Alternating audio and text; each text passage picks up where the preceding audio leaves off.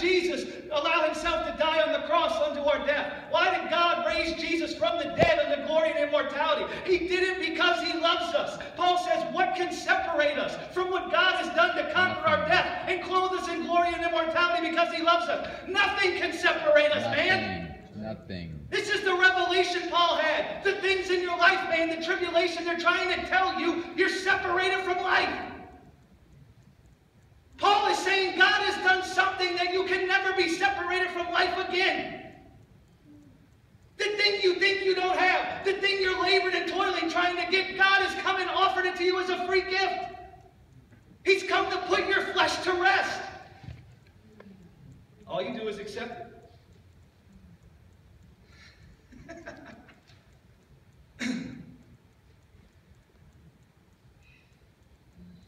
so look what Paul says. It is Christ that died. It's Christ that died, yea, rather, that is risen,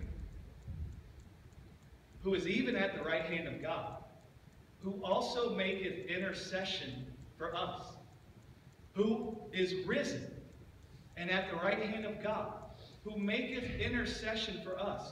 When does he make intercession for us? When the death that's in the world tries to come with the word of condemnation telling us we don't have what we need for life. When a word of condemnation tries to come to us from the world telling us our life is fragile, telling us our life is weak, telling us that our life can be taken from us, telling us that the life we have can be threatened or harmed. It is Christ who absorbed our death into his body, then conquered that death in the resurrection, and is now seated at the right hand of God, declaring your life to you. He's not just declaring his life, he's declaring to you your life so that that word of an incorruptible life, an eternal life that can never die in a human body, can now intercede in your heart in the day when you find yourself in a world where death is trying to come against your body, where death is trying to come against your life, where tribulation is trying to come and tell you that your life is dying, that death is reigning over you. The word of an incorruptible life in Christ that is declaring your life, it intercedes in your heart in those moments, and it saves your soul from the fear of death. It saves saves your soul from being subverted, and it fills your soul with life, and you become like Stephen. When the tribulation came against Stephen, and they were about to kill him, tribulation came against Stephen. And what did Stephen say? The word of an incorruptible, eternal life dwelling in a human body that had conquered death. It interceded in his heart. And what did he say? He said, I see the Son of Man seated at the right hand of God. What is he saying? I see a human being with an incorruptible, eternal life in a human body. And I see that human being is not just declaring something about his life, but he's declaring something about my life.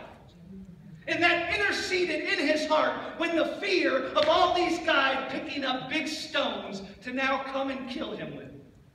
It interceded in his heart. It saved his heart from the fear of death. And it allowed him to sit there and say, Father, Forgive them, for they know not what they do.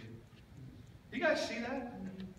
Now, what happens, guys, when we hear the word of the resurrection, when we can understand God as our kinsman redeemer, we become like Stephen. Well, we will say the same thing.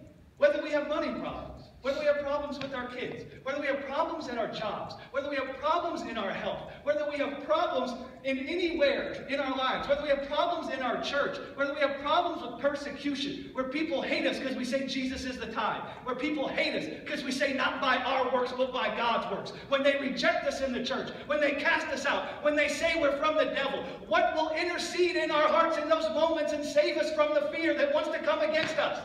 The word of an eternal, incorruptible life seated in a human body at the right hand of God. It will intercede in our hearts. And we'll find ourselves saying the same thing that Stephen said. I see the testimony of my life in a human body seated at the right hand of God.